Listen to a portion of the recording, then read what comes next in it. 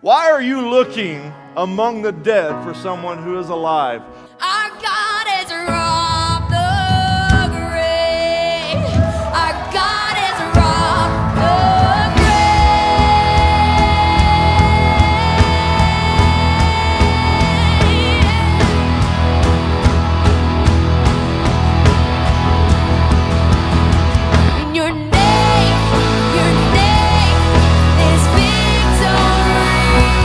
Miracles can take place on an early Sunday morning, on Easter Sunday 2016 in your life.